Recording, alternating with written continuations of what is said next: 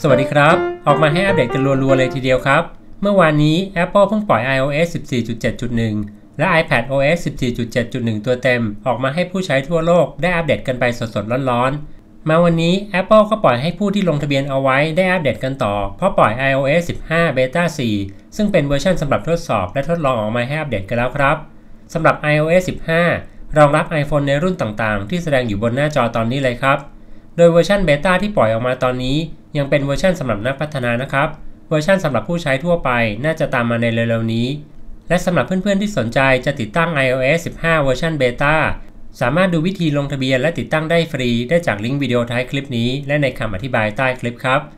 นอกเหนือจาก iOS 15 Beta 4 แล้ว วันนี้ Apple ยังปล่อย iPad OS 15 Beta 4 Watch OS 8 Beta 4 TV OS 15 Beta 4 และ Mac OS Monterey Beta 4 ออกมาให้อัปเดตกันด้วยครับ สำหรับการอัปเดตในครั้งนี้จากเครื่องที่ติดตั้ง iOS 15 Beta 3 ขนาดไฟล์ไม่ใหญ่มากครับ บน iPhone 12 Pro Max ขนาดไฟล์อัปเดตอยู่ที่ 1.21 GB เท่านั้น ของเพื่อนๆ ใช้เครื่องรุ่นไหน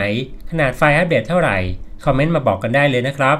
เราไปอัปเดตแล้วไปดูกันครับ เวอร์ชันใหม่ล่าสุดนี้มีอะไรใหม่ แก้ไขอะไรบ้าง ไปชมกันเลยครับ ถ้าชอบคลิปแบบนี้ฝากเพื่อนๆ กดไลค์ให้หน่อยนะครับ ผมจะได้ทราบและทำคลิปแบบนี้บ่อยๆ และอย่าลืมกดปุ่มติดตามและกดปุ่มรูปกระดิ่ง เพื่อไม่ให้พลาดคลิปใหม่ๆในทุกวันด้วยครับ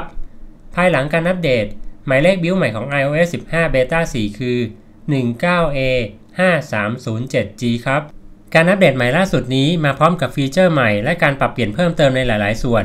เราไปเริ่มกันที่การอัปเดตโมเด็มเฟิร์มแวร์อีกครั้ง เพื่อเพิ่มประสิทธิภาพในการเชื่อมต่อแบบไร้สาย และแก้ไขปัญหาต่างๆ ที่พบครับ เช่น เพื่อนๆ หลายคนที่พบปัญหาการสลับระหว่าง 4G และ 5G หรือปัญหาอื่นๆ ได้รับการแก้ไขแล้วนะครับสำหรับหมายเลขเวอร์ชันของโมเด็มเฟิร์มแวร์นี้จะแตกต่างกันไปตามเครื่องแต่ละรุ่นนะครับ โดยในการอัปเดตใหม่ล่าสุดนี้บน iPhone 12 Pro Max มีการอัปเดตใหม่ครับของเพื่อนๆใช้เครื่องรุ่นไหนโมเด็มเฟิร์มแวร์มีการอัปเดตกันบ้างหรือเปล่าคอมเมนต์มาบอกกันได้เลยนะครับ ในการอัปเดตใหม่ล่าสุดนี้สำหรับเพื่อนๆที่ใช้ iOS 15 Beta ก็สามารถใช้งานร่วมกับ MagSafe Battery Pack Power Bank รุ่นใหม่ล่าสุดจาก Apple ในการชาร์จแบบไร้สายได้แล้วครับ หลังจากที่ก่อนหน้านี้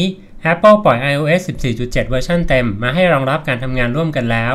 ในการอัปเดตเป็น iOS 15 Beta 4 ก็เพิ่มการรองรับแล้วเช่นเดียวกันครับ ทั้งในการชาร์จและการแสดงข้อมูล Widgets เพื่อนๆที่อัปเดตเป็น iOS 15 Beta ไปแล้ว และวางแผนจะซื้อ MagSafe Battery Pack อัปเดตเป็น Beta 4รอกันได้เลยครับ ใน iOS 15 Beta 4 นี้ Apple ยังคงใส่ใจในรายละเอียดเล็กๆ น้อยๆ ปรับเปลี่ยนดีไซน์ต่างๆ เพื่อให้ผู้ใช้ใช้งานได้ง่ายขึ้นอีกด้วยครับ โดยในหน้าจอล็อก Apple มีการอัปเดตไอคอนของแอปกล้องใหม่ ให้ดูต่างจากเดิมเล็กน้อยมีการปรับดีไซน์ให้ดูโค้งมน มีขนาดใหญ่ขึ้น ตัดปุ่มชัตเตอร์ด้านบนซ้ายออกไป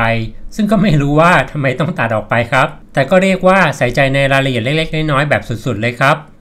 ในส่วนของ App Store ก่อนหน้านี้เมื่อเราเปิดเข้าไปที่หน้าโปรไฟล์ของเรา หน้าตาของการตั้งค่าหน้าตาของคำสั่งต่างๆ ยังเป็นแบบเดิมแบบใน iOS 14 ครับ ไม่เหมือนในส่วนของการตั้งค่าระบบใน iOS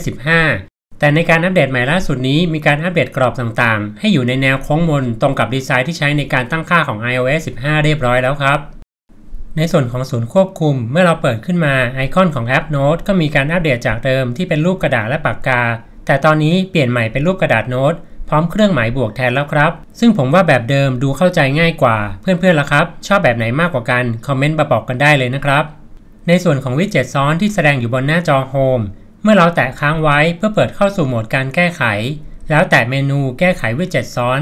Apple มีการอัปเดตไอคอนสลับอัตโนมัติ และคำแนะนำวิดเจ็ตแบบดีไซน์ใหม่อีกด้วยครับ ไม่เพียงเท่านั้น เมื่อแตะเพื่อทำการตั้งค่า ก็มีภาพเคลื่อนไหวแบบใหม่เพิ่มเข้ามา เพิ่มเสน่ห์และความน่าใช้ขึ้นไปอีกครับ เพื่อนๆที่ใช้งานวิดเจ็ตซ้อน เปิดเข้าไปดูการตั้งค่ากันได้เลยนะครับ การปรับเปลี่ยนดีไซน์ใหม่นี้ยังครอบคลุมไปถึงการตั้งค่าด้วยครับ เมื่อเราเปิดเข้าไปที่การตั้งค่า Apple ได้ปรับดีไซน์ไอคอนของการแจ้งเตือนใหม่ เป็นแบบรูปกระดิ่ง และวงกลมที่มุมบนขวา ที่เป็นตำแหน่งแสดงตัวเลขจำนวนการแจ้งเตือนครับ จากเดิมใน iOS เวอร์ชันก่อนหน้า หรือใน iOS 15 Beta ก่อนหน้า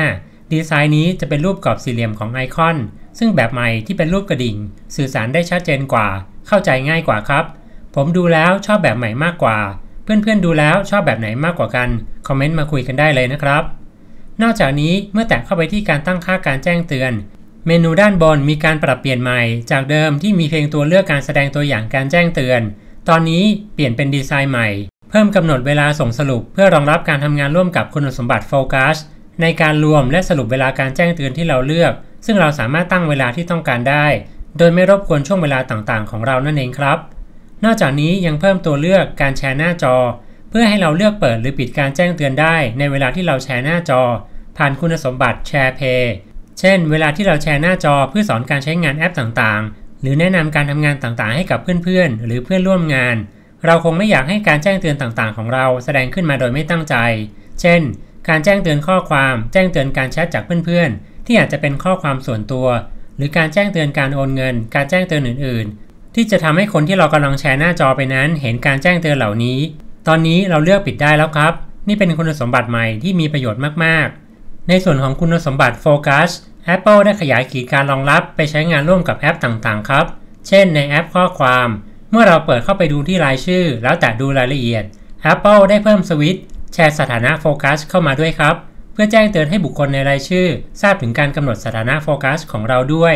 ทำให้ทราบว่าตอนนี้เราไม่ต้องการถูกรบกวน หรือกำลังทำกิจกรรมต่างๆ อยู่นั่นเองครับ ซึ่งวิธีนี้ดีมากๆเลยครับเพราะทำให้บุคคลในรายชื่อทราบว่า เวลาที่โทรมาหรือส่งข้อความมาทำไมเราไม่รับสายไม่ตอบข้อความ นั่นเป็นเพราะเรากำลังอยู่ในโหมดโฟกัสกำลังทำงานสำคัญหรือกำลังพักผ่อนอยู่นั่นเองครับ สำหรับแอป Safari Apple มีการอัปเดตปรับปรุงการทำงานให้ใช้งานได้ง่ายขึ้น สะดวกยิ่งขึ้นไปอีกครับ โดยในแท็บบาร์ Apple ได้เพิ่มไอคอนในการ refresh มาให้แล้วครับ ให้เราสามารถแตะเพื่อ refresh หน้าจอ refresh หน้าเว็บเพจได้เลย นอกเหนือไปจากการแตะบนหน้าจอแล้วลากลงเพื่อ refresh ครับ โดยคำสั่งในการ refresh นี้ก่อนหน้านี้ Apple เพิ่มเข้าไปในเมนูครับ เมื่อเราแตะบนแถบบาร์ค้างไว้เมนูจะแสดงขึ้นมา เพื่อให้เราเลือกคำสั่งในการ refresh แต่ตอนนี้ไม่มีคำสั่งนี้แล้วนะครับ ถูกย้ายออกมาเป็นไอคอนในหน้าแถบบาร์เพื่อให้เราแตะเลือกได้ง่าย ๆ สะดวกใช้ยิ่งกว่าเดิมครับ ไม่เพียงเท่านั้นเมื่อเราเปิดอ่านหน้าเว็บเพจใดๆ Safari จะแสดงข้อความเล็กๆ ด้านล่างขึ้นให้ทราบว่า มีตัวอ่านเพื่อให้เราทราบและเลือกใช้ได้นั่นเองครับ ในการอัปเดตใหม่ล่าสุดนี้ Apple ยังไม่ได้แก้ไขบั๊กในส่วนของการเชื่อมต่อกับคอมพิวเตอร์แล้วไม่ขึ้นรายการรูปและวิดีโอให้เราสามารถ Copy หรือ Paste ได้นะครับ ยังคงใช้งานไม่ได้เหมือนเดิม มองไม่เห็นทั้งโฟลเดอร์และไฟล์เลยครับ ต้องไปใช้โปรแกรมอื่นๆ เช่น 3U Tools มาช่วยในการดาวน์โหลดรูปและวิดีโอแทน รวมถึงบั๊กในการใช้งานร่วมกับแอปธนาคารต่างๆ แอปทางการเงินต่างๆ ในเครื่องบางรุ่น ก็ยังไม่ได้รับการแก้ไขทั้งจาก Apple หรือทางผู้พัฒนาแอปนะครับ แต่ในเครื่องบางรุ่น เช่น iPhone 12 Pro Max สามารถใช้งานได้ปกติทุกแอป โดยไม่มีปัญหาอะไรเลยครับ เพื่อนๆที่ติดตั้ง iOS 15 เวอร์ชันเบต้าแล้วใช้งาน iPhone รุ่นไหน แล้วเกิดปัญหากับแอปอะไรบ้าง คอมเมนต์บอกกันเข้ามาได้เลยนะครับ เดี๋ยวผมช่วยส่ง feedback แจ้งกลับไปที่ Apple เพื่อทำการแก้ไข แล้วเรามารอดูกันอีกทีครับ ว่าในเบต้า 5 ที่จะตามมาปัญหาต่างๆ จะได้รับการแก้ไขหรือไม่ เพื่อนๆ ส่งชื่อรุ่นของ iPhone และแอปที่เกิดปัญหาเข้ามาได้เลยนะครับ เดี๋ยวผมรวบรวมแล้วส่งเข้าไปทีเดียวเลยครับ ทั้งหมดนี้เป็นการเปลี่ยนแปลงหลักๆ ใน iOS 15 Beta 4 ที่ Apple ส่งมาให้อัปเดตกันในวันนี้ครับ เดี๋ยวเราไปทดสอบความเร็วและแบตเตอรี่กันต่อ ผลลัพธ์จะเป็นยังไง เพื่อนๆ สามารถติดตามได้ที่นี่ครับ ขอบคุณมากครับที่ติดตามรับชม แล้วพบกับสอนใช้ง่ายนิดเดียวในตอนหน้า สวัสดีครับ